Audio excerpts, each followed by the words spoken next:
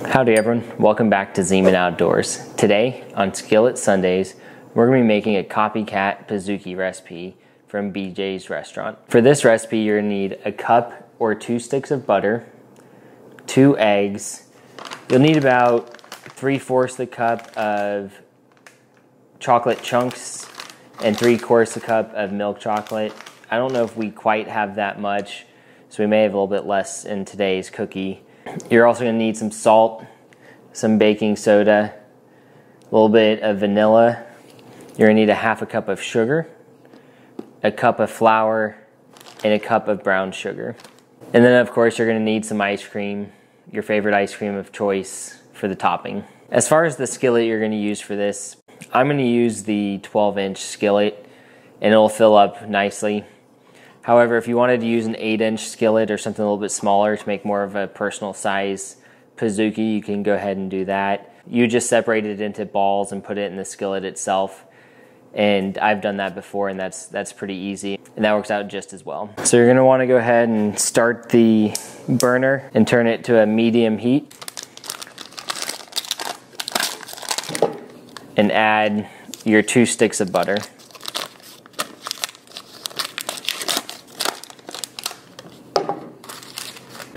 So you're gonna keep stirring the butter until it's completely melted and it starts to bubble a little bit.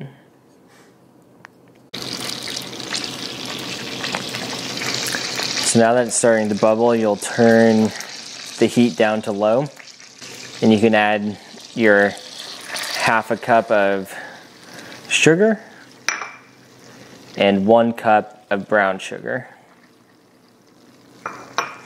And just start mixing that together. Keep stirring till it's nice and smooth and glossy.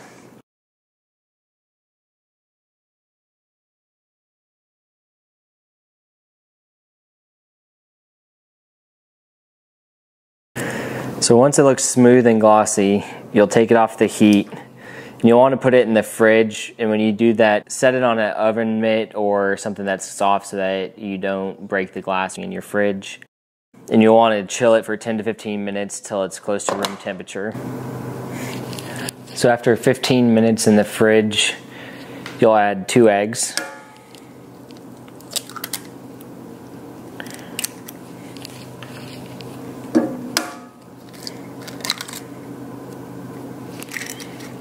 And one teaspoon of vanilla. And go ahead and mix that well.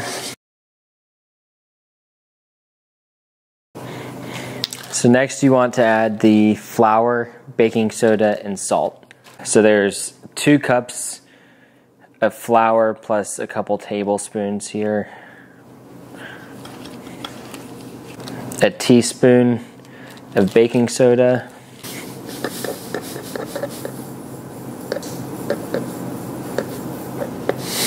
And a half teaspoon of salt. We'll go ahead and stir that in.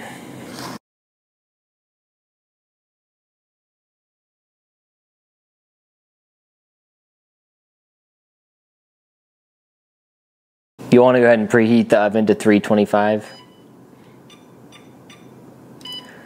So before you add the chocolate, you want to make sure your dough is not too hot so your chocolate does not melt. What we like to do is we'll add three, quart three quarters a cup of just regular milk chocolate chips and then three quarters a cup of dark chocolate chunks.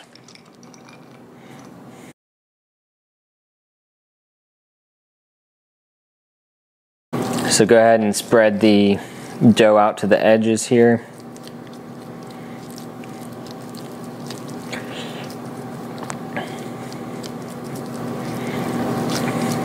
So you want to put it in the oven at 325 for about 25 minutes. You may have to do a little bit less or a little bit longer depending on how it starts browning around the edges. You want the middle to be a little bit gooey.